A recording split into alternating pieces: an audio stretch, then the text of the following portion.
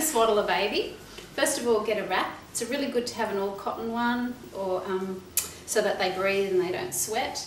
And I'm going to get you just to fold over the end. So you lie it on your change table and fold over the end like so before you get your baby and put them on there.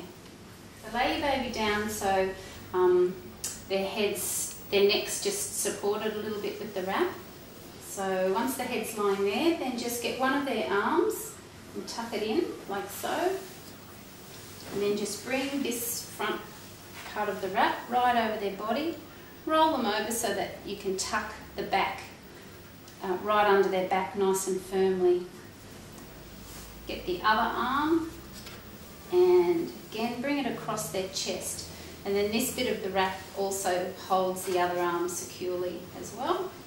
Now take the area at the bottom, pull it out flat and then wrap it up over the body and again firmly in behind the baby. There he is, nice and wrapped.